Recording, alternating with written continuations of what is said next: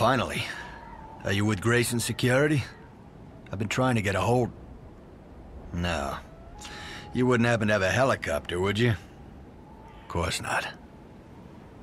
This is private property, but I won't belabor the fact. I'm not particularly attached to it.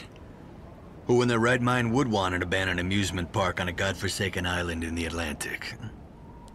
Aside from Nathaniel Winter, of course. Yeah, that Nathaniel Winter. Millionaire. Mogul. Also, as it turns out, theme park tycoon. Nathaniel brought me up here during construction. And even then, there were accidents. Workers falling to their deaths, equipment malfunctioning as soon as it was turned on. Strange whispers at night, according to the crew, coming from the rides themselves. But he was a stubborn son of a bitch, my father. The park opened against all odds right on schedule. Whole island showed up for the ribbon cutting. But the accidents continued. A roller coaster derailed, killing a family of three. A 10-year-old kid was found, dismembered, behind the cotton candy stand. An employee in a chipmunk costume went berserk, stabbing two teenagers in the eye. By 1980, Nathaniel was forced to shut it all down. There were investigations. It was all over the papers so we closed up shop. Stayed behind while my mother and I went back to Boston. Never saw the son of a bitch again. I remember Nathaniel telling me once, after the bumper cars crushed one of the engineers, that this was all par for the course. Great deeds require great sacrifice, he said. Next time I saw my father, he was in a casket. He outlived everyone and left me nothing of his fortune. Except... Uh, I don't want his money. And I didn't ask for the park, neither.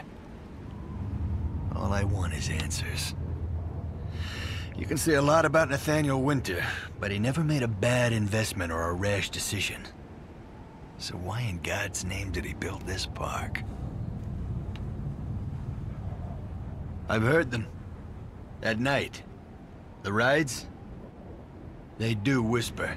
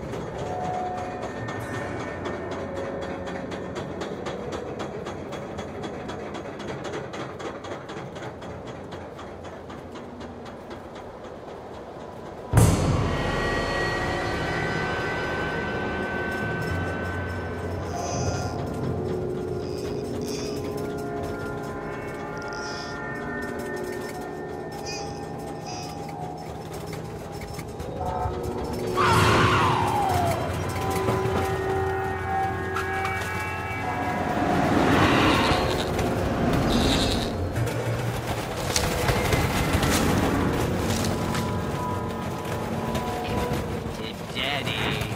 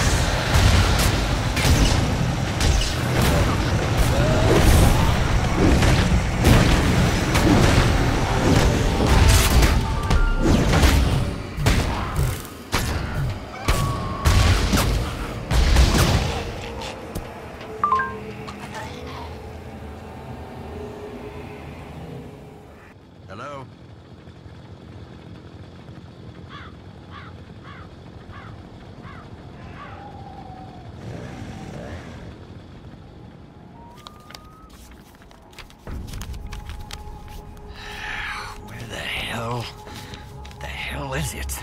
I know I left it right. Oh, God, the stench.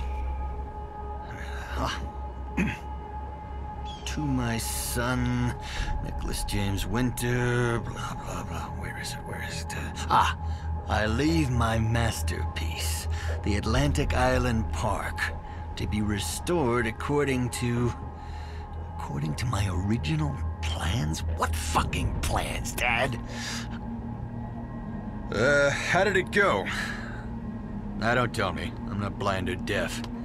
I don't believe it's a coincidence those things are drawn to the rides. The fog came the day we got here.